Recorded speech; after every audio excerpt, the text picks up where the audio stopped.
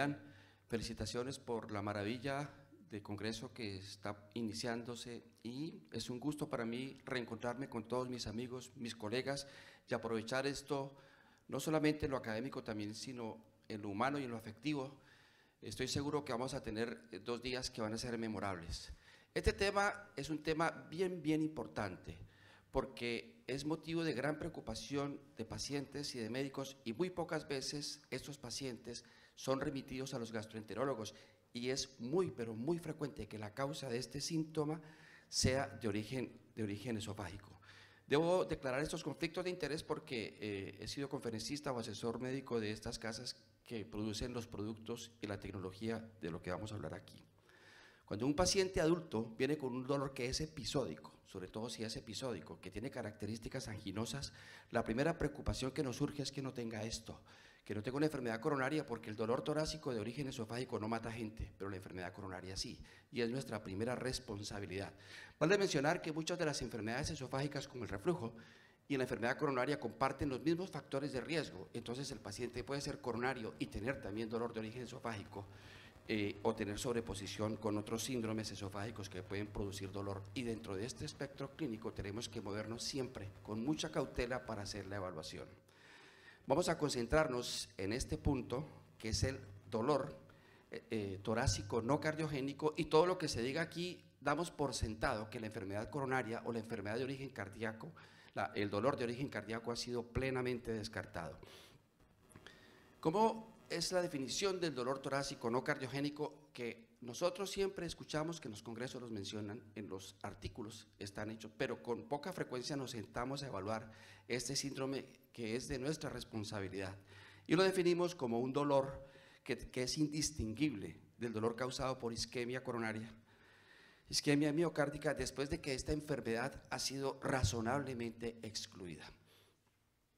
Este es un estudio poblacional en Australia donde vean que la mayoría de los pacientes son menores de 50 años y como eh, en los mayores de 50 años el dolor torácico no cardiogénico empieza a perder prevalencia posiblemente porque la causa empieza a ser más coronaria y hay eh, una prevalencia similar en ambos géneros.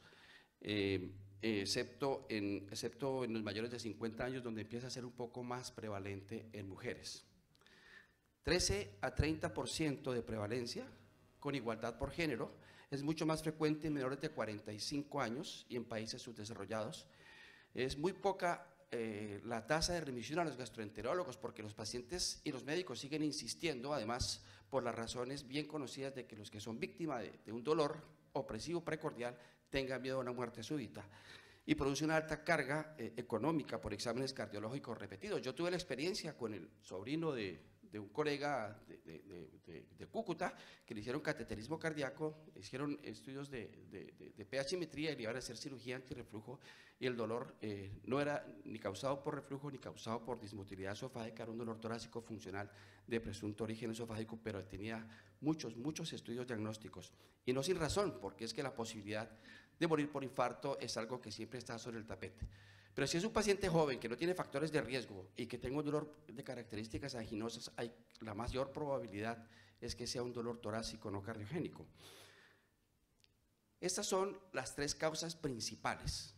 Como en cualquier otro síndrome con la dispepsia, eh, el dolor torácico no cardiogénico toca clasificarlo y definir si tiene alguna enfermedad o alguna causa nosológica definida o si no la tiene. La enfermedad por reflujo gastroesofágico es la causa más frecuente, aunque un estudio reciente que hicieron con manometría eh, ambulatoria encontró que la mayoría de las causas era funcional, pero en este que es el estudio más grande, 50-60% de los pacientes con dolor torácico no cardiogénico son por reflujo, 15 a 18 por desorden motor y el residual es para el dolor torácico funcional. No significa que sea idiopático, porque algunos estudios que hacen en el último grupo, en este que está aquí, con estímulos de mecanoreceptores y con estímulos de, eh, ácido, se logra reproducir dolor con umbrales de sensibilidad más baja que en los controles. Entonces se presume que hay una alteración de hipersensibilidad visceral. Y esto que está aquí, que es un factor que aparece, es un agravante que tiene que ser tenido en cuenta porque los pacientes desarrollan comorbilidad psicológica que los coloca en una posición de mucha aprensión, de hipervigilancia y de sensación catastrófica. Y ese es el gran desafío porque, aparte de eso, frecuentemente los médicos eh, eh, nos desentendemos cuando las pruebas que se hacen son negativas y pensamos que el dolor todavía no es de causa esofágica.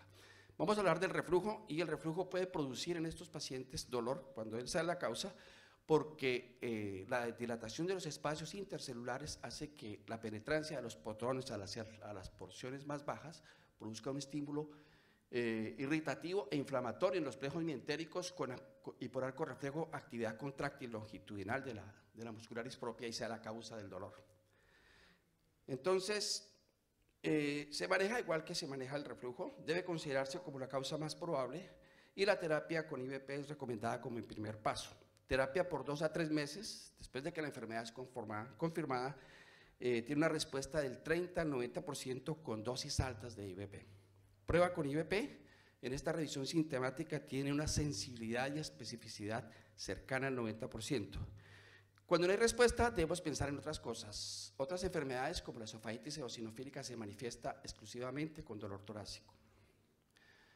Con respecto a la endoscopia, la endoscopia puede ser normal en el 40% más o menos, pero el residual puede dar hallazgos directos o indirectos que puedan estar relacionados con reflujo, como esofagitis erosiva, hernia tal, estrechez o esófago de Barrett. Pero vean esta serie que está aquí abajo, 14% de eosinofilia normal y esofagitis eosinofílica definida como esofagitis eosinofílica en un 11%. Les recuerdo que la esofagitis eosinofílica requiere síntomas de disfunción esofágica más infiltración eosinofílica anormal. Entonces la endoscopia es un examen importante para la evaluación de estos pacientes. Con respecto a las pruebas de monitoreo, eh, hacerlo siempre sin IBP, si la endoscopia es normal, por supuesto, porque si el paciente tiene dolor como síntoma dominante y endoscopia normal, no tenemos reflujo probado. La prueba se hace sin IBP y se evalúan los determinantes principales, que es el tiempo de exposición ácida y la asociación sintomática. El ideal, eh, que ha demostrado que tiene una mejor eh, captura de pacientes porque incrementa la sensibilidad de la cápsula inalámbrica, que no la tenemos, pero al incrementar el muestreo, eh, la ganancia que hay en tiempo de exposición ácida es del 10% y en la asociación sintomática 21%. Anormalidades eh, con esta prueba han sido descritas en el 62% de los casos. Desórdenes motores esofágicos, también los hemos visto, los vemos con mucha frecuencia, pacientes con disfagia y que tengan desórdenes motores esofágicos, especialmente trastornos espásticos, pero otros también pueden aparecer. Dismotilidad esofágica hasta en el 30% de los casos, hallazgos frecuentes, tono bajo del esfínter esofágico inferior, trastornos espásticos, motilidad esofágica inefectiva, pero puede ser normal, 70-90% de los casos. Gol estándar, manometría esofágica de alta resolución y solamente vamos a considerar si existen estos trastornos. Cuando aparece alguno de estos, la causa del dolor es esa. Acalasia, espasmo esofágico distal, esófago de Jack Hammer, aperistalsis u obstrucción de salida de la unión esófago-gástrica, que es un hallazgo que cada vez vemos con más frecuencia. Muy bien, eh, entonces, si nuestro paciente con dolor torácico ya está excluida la causa cardíaca, ya está excluida el reflujo, ya está excluido el desorden motor esofágico, entonces nos queda el dolor torácico funcional. Dolor torácico funcional, eh, como todos los síndromes funcionales de hipersensibilidad visceral del grupo de Roma, requiere que tenga seis meses de evolución y que estén presentes los síntomas en los últimos tres meses, es un dolor retroesternal con ausencia de síntomas típicos como pirosis y disfagia, ausencia de reflujo demostrado o esofagitis eosinofílica y ausencia de trastorno motor mayor. Es decir, para llegar aquí hemos debido tener un camino eh, de exámenes diagnósticos para asegurarnos de que ninguna de las enfermedades que mencionamos, la coronaria, el reflujo y el desorden motor esofágico está presente y tratamos este desorden como un desorden de hipersensibilidad visceral. ¿Y por qué les duele el esófago? ¿O por qué le duele el tórax? Lo que está propuesto es que hay una hipersensibilidad eh, periférica con anormalidades motoras, como les mostré anteriormente. Esto produce un aumento de la sensibilización central a nivel de las, eh, de las astas posteriores de la médula y produce eh, una alteración del procesamiento central. En el terreno de un paciente con comorbilidad psicológica, estos mecanismos de favorecimiento de los, de los estímulos aferentes espinales está favorecido y eso es lo que, lo que genera el círculo vicioso de perpetuación del dolor. Por eso es tan difícil manejarlos, pero hay que entender el problema para poder aproximarse a él. La comorbilidad psicológica no es algo de menor cuantía y es algo que frecuentemente constituye el mayor desafío para el manejo de estos pacientes. La prevalencia de depresión es muy alta, la de ansiedad también, alrededor del 40-50%. Otros trastornos como pánico, trastornos del sueño, desorden psicosocial y trauma infantil son muy frecuentemente reportados, pero esto que está aquí es algo bien importante y es que la afectación del procesamiento de la sensibilidad central afecta tanto al paciente que lo coloca en una situación de hipervigilancia y en todo momento esta situación hace que la, la amplificación de la experiencia del síntoma lo someta y afecte profundamente su calidad de vida. Ese sería el proceso, descartar plenamente la enfermedad coronaria. Primera opción, reflujo. La prueba con IBP tiene una sensibilidad muy alta, cercana al 90% y especificidad. Si esto falla, endoscopia con biopsias, si, hay, si, si son negativas, examen de reflujo, sin IBP, por supuesto, y si, es, si esta es normal, hacer una manometría. Si la calasia, el diajame, la obstrucción de salida y la peristalsis están descartadas, entonces tiene esto. Y entonces nos corresponde al paciente enfocar el tratamiento. Si encontramos algunas de las enfermedades anteriores o si tiene un desorden motor, un desorden eh, de dolor torácico funcional. ¿Cuál es el tratamiento del dolor asociado a reflujo? El IBP ha sido superior al placebo cuando el reflujo es demostrado. Cuando damos eh, la prueba de tratamiento y el paciente no tiene reflujo demostrado, el resultado con IBP es igual al placebo. Dosis dobles de IVP por dos semanas es un buen método diagnóstico con una sensibilidad y especificidad muy altas. Dosis dobles de IVP por dos meses después de que la enfermedad es demostrada es el manejo inicial adecuado. Cuando se demuestra reflujo, la respuesta para reducción del dolor es del 90% y empieza a funcionar especialmente a partir de la segunda semana. Los estudios con fundioplicatura que han demostrado algún beneficio con el dolor es aquellos en los cuales el, estudio de, de monitoreo de pH demostró una fuerte asociación sintomática. Estos son los eh, tratamientos propuestos para el dolor asociado a trastornos de motilidad, ¿cierto? Tratamiento médico, neuromoduladores, nitratos, eh, bloqueadores de calcio, inhibidores de fosfodiesterasa, benzodiazepinas, bromuro de, anticálcicos y tratamiento no médico, inyección de Botox, el POEM y la miotomía de Haller. En este estudio que se hizo en Bélgica, vean ustedes cómo la inyección de Botox 100 unidades aquí y 100 unidades en el cuerpo en pacientes con trastornos motores eh, espásticos bien definidos, había una reducción eh, de la amplitud del DSI y cómo hay reducción del score total sintomático de la disfagia, del dolor torácico de forma significativa en los pacientes en los que se le hizo prueba CHAM con eh, solución salina. Entonces, este estudio, aunque es pequeño, demostró que la inyección de, Botox puede ser útil en los pacientes que tengan dolor torácico asociado a trastorno de motilidad esofágica. El POEM en trastorno no acalasia no tiene muchos estudios, pero en este estudio que se hizo en Estados Unidos se encontró que en los pacientes eh, que no tenían acalasia la reducción del dolor era del 80% y en los pacientes con acalasia la reducción del dolor es del 100%.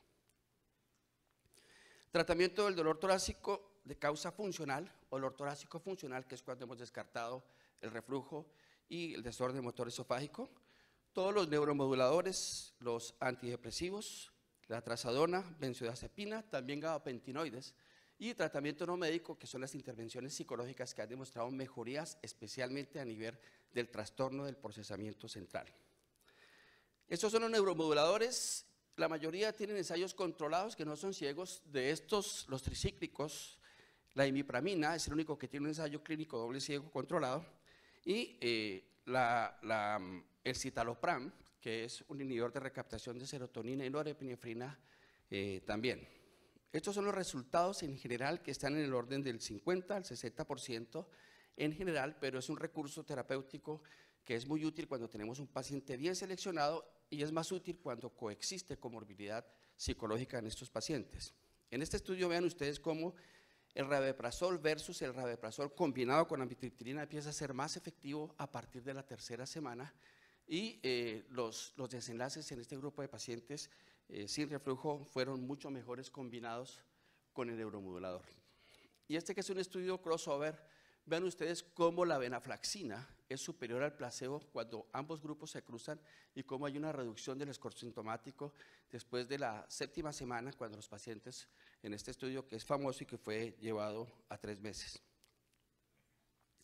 Este metaanálisis, que es el único que conozco eh, dirigido a dolor torácico, encontró que en general los siete estudios controlados que hay con, neuro, con neuromoduladores tienen una ventaja frente al placebo. Aquí quitaron un estudio que, que jalaba mucho el, tamaño del efecto y em, eh, aún así quitando ese estudio que, era un sesgo grande por, eh, por, una simetría del funnel plot, sigue siendo eh, el resultado final significativo a favor del neuromodulador en términos de dolor y también en términos de síntomas psicológicos para este mismo eh, grupo de, estudios que fueron analizados en este metaanálisis y revisión sistemática.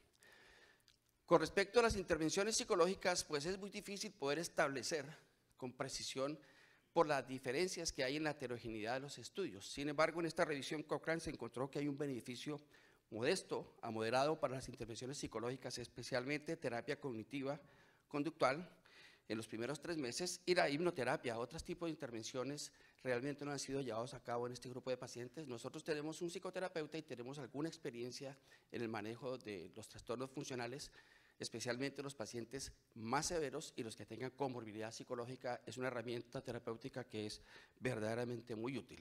Entonces, resumiendo, tenemos este paciente en donde la enfermedad coronaria y la causa cardíaca ha sido plenamente descartada. Si tiene reflujo, el tratamiento es optimizar IVP. Si persiste, podemos adicionar neuromoduladores, cirugía en casos muy seleccionados, como en cualquier otro caso de enfermedad por reflujo. Si hay desorden motor esofágico, el tratamiento inicialmente farmacológico o toxina boturínica o POEM, que aparentemente tiene mejores resultados que la miotomía de Heller. Si es un desorden torácico funcional, un dolor torácico funcional, entonces neuromoduladores es la piedra angular del tratamiento y la terapia y las terapias eh, psicológicas. En conclusión, el manejo del dolor torácico no cardiogénico se basa en buscar y tratar la causa. El reflujo es la causa más común y dosis altas de IVP por dos meses es el tratamiento más eficaz. Si el reflujo se descarta, debe hacerse manometría y los trastornos para tener en cuenta son los trastornos mayores, acalasia, espasmo esofágico distal, eh, esófago de Jackhammer y obstrucción del tracto de salida. El diagnóstico del dolor torácico funcional requiere que todas las pruebas sean negativas. El uso de neuromoduladores es la piedra angular para el tratamiento de primera línea en dolor funcional y puede ser un coadyuvante también en, otras, eh, en, dolor de otras causas. Y las terapias psicológicas están especialmente disponibles para los casos severos, especialmente en aquellos en los que coexista comorbilidad psicológica. Muchas gracias.